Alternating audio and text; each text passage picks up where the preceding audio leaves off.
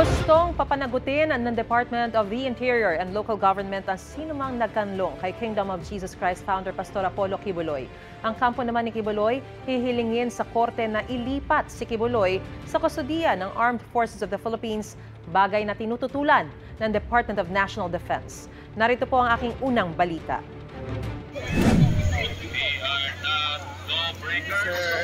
August 24 nang simulang pasukin ng pulisya ang compound ng Kingdom of Jesus Christ o KOJC sa Davao City. Misyon nilang maaresto si KOJC founder Pastor Apollo Kibuloy at iba pang akusado. Napasa kamay ng mga otoridad si Kibuloy na ipinresinta sa Camp Crame. Ayon sa PNP, siya ang nakakap na may markang agila balot na balot mula mukha hanggang katawan. Nakatakip din ang mukha ng mga kapwa-akusado at KOJC members na sina Jacqueline Roy, Ingrid Canada, Crescente Canada at Sylvia Semanes. Bago nito, You have the right to remain silent. binasahan sila ng Miranda rights at isinailalim sa booking procedure. Ang mga kuha sa kanila sa prosesong ito, binlearn na ng PNP bago ipamahagi sa media. Maging ang kanilang mugshots. Nakakulong sila ngayon sa PNP Custodial Center. Ang iginigiit ng kampo ni Kibuloy, sumuko at hindi inaresto ang pastor. An arrest is only made when there is an actual restraint of the person to be arrested. In this case, there was no actual restraint. He decided to uh, make the ultimate sacrifice of surrendering para matapos na po yung uh, sufferings ng kanyang mga miyembro. Pero giit ni Pangulong Bongbong Marcos at ng Interior Department na corner sila kaya napilitang sumuko. Hindi siya lilitaw kung hindi namin uh, hinabol ng gusto. Ang nangyari, napilitan siyang lumabas dahil malapit na ang pulis sa kanya. Desidido ang ating mga pulis at ang instruction ko sa kanila, etong last time, sinabi ko pagpasok natin, huwag na kayong aalis dyan hanggat makuha na ninyo siya. And that's exactly what they did. For me, it makes no difference kung sumuko ka man. No? Kasi yun na yun eh. Ah, practically, napaligiran ka na eh. Giit ng DILG Secretary, kalokohan ang pinapakalat na impormasyong sa labas ng KOJC compound sumuko si Kibuloy. Kwentong kutsero yun. Alam niyo kung bakit? Eh, nasa labas ka na, di tumakas ka na. Ang tagal yung sinasabing hindi siya magpapahuli, hindi ba? Gusto ngayon ng DILG na imbestigahan at panagutin ang mga nagkanlong kay Kibuloy. Handa naman daw ang abogado ng pastor na sumailalim sa posibleng investigasyon. He had to meet his uh, um, leaders again. That is why on September 8, there was already a decision that he will uh, surrender. And uh, on September 8 in the morning, I was informed about it. And in front of the ISAF uh, officers and the uh, PNP, the decision was made prior to September 7, uh, wala siya sa compound. Nanindigan din siya ngayon lang niya nalaman kung saan nagtago si Kibuloy. He told me na sa bundok ng ah, Davao City. Ah, I was not able to ah, verify from him. Ah, masyadong mabilis ang mga pangyayari.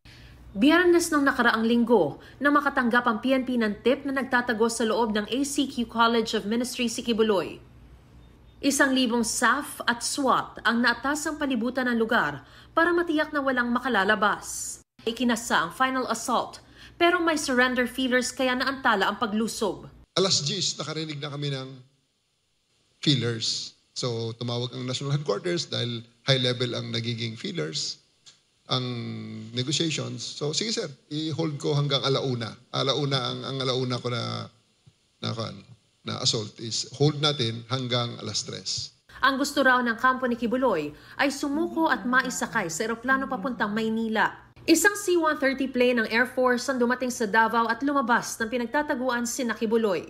Sakay sila ng convoy na nagbiyahe sa kanila para isakay sa C-130. Sabi ng Pangulo, hiniling ni Kibuloy ang presensya ng Armed Forces of the Philippines sa kanyang paglantad. Pero pandagdag puwersa lang daw ang AFP at PNP pa rin ang nanguna sa operasyon. Sana may presence ng AFP dahil wala daw siyang tiwala sa pulis. So, fine. Yun ang ginawa namin. But let's be very clear. This was a police-led operation.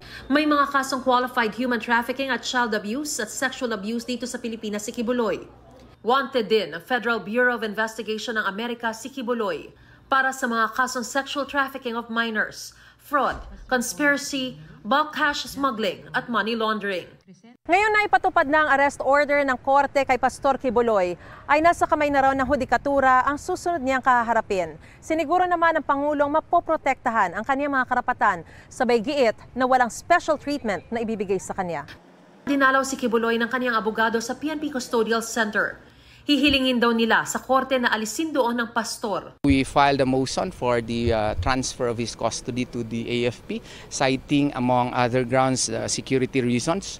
And uh, we are hoping that the court would grant the same, no, or at the very least, a, a, uh, a house arrest, knowing that he also he is already 74 years old. He has a health condition.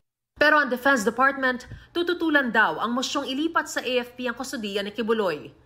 May mga istriktong operational security protocol daw ang mga pasilidad ng AFP. Kaya hindi raw ito ang ahensyang nararapat humawak sa kustodiya ng mga suspect sa mga kasong kriminal. Ito ang unang balita. Mariz Umali para sa GMA Integrated News. Mga kapuso, mga kapanayam din po dapat natin si Attorney Israelito Torion ng abogado ni Pastor Apollo Kibuloy. Pero hanggang ngayon, hindi po siya sumasagot sa aming mga tawag at text message.